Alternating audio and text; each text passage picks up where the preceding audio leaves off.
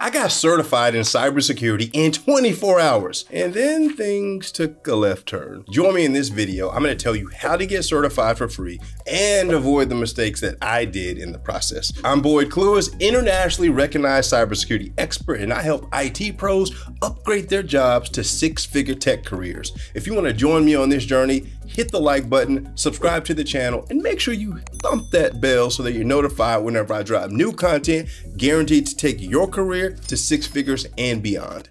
So I'm working at the NOC, which is the Network Operating Center, working overnights, and my company asked me to take over the role of managing our vulnerability scanner. So I became the vulnerability scanner operator.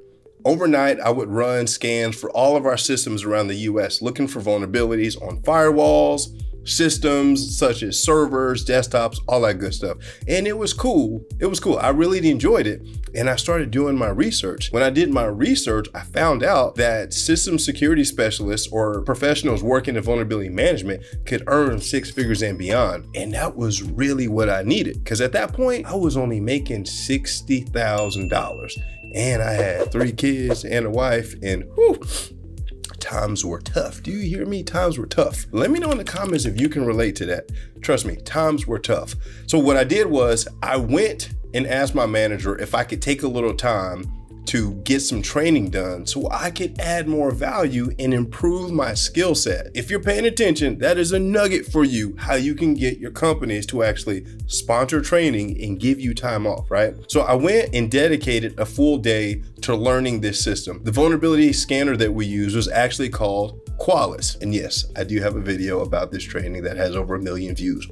The training was Qualys and it was phenomenal, phenomenal, completely free. I did this training online. I became a vulnerability management specialist certified. The heavens opened, y'all. I was excited. My first cybersecurity certification. I got the certification. I updated my LinkedIn profile. I updated my resume, my DICE profile, and I started sending it out everywhere because I knew I needed to make more money. And the coolest thing happened, y'all. The coolest thing. I got a phone call, right, from a recruiter that said, Hey, we got your resume and we're actually looking for someone to interview for a vulnerability management specialist position. I was like, Yes. What's the name of the company? And they said American Airlines. And at this time, guys, I'm like 23 years old, about to interview for a vulnerability management position at the world's largest airline. I was terrified. I was terrified. I was also confident. Why? Because I was certified. I had been running the, the vulnerability management scanner. I had the certification and I was hungry. I was hungry. So what I did was I went to this interview and I showed up like the man. Looking good, smelling good, feeling good. You know how it goes, right? And I interview with the manager. So we talk about scanning strategies, adding value, remediation plans. And I'm like, man, I am crushing this interview. This is all you got. But then there was a few questions that I stumbled over, but I thought it was nothing. I thought it was nothing. Absolutely nothing. So we end the interview, I leave, I get the phone call from the recruiter and I'm like, yes Tell me the good news. He was like, hey man, I just talked to Gary. He said that you did well in the interview, but they are going to go with another candidate. I was like, wait, what? Wait, what? Another candidate? The certification? I got this cert. Y'all, I even had the CISSP at the time. I'm like, why are they not going with me? And so he said, man, let me just be transparent with you.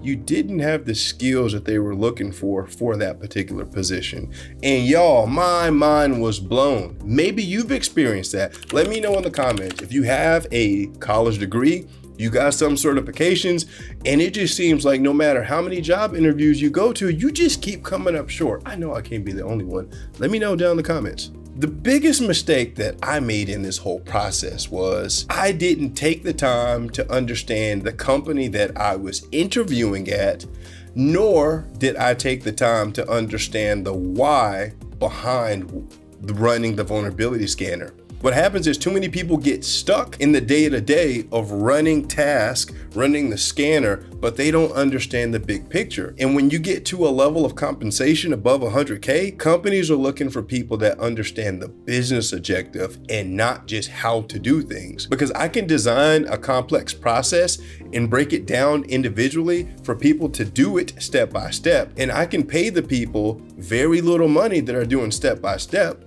but the guy that's divine, designing the process is going to get the big bag. I hope that un y'all understand and, and y'all recognize what I'm saying. It is critical. Hopefully you realize through my story that being certified doesn't equal job. It just doesn't. There's skill and there's other things that come along with the certification that will put you in position to land a job. I experienced that a lot over my life. As a matter of fact, I'm pretty sure many of you have. And if that is your testimony, then I invite you to do something different.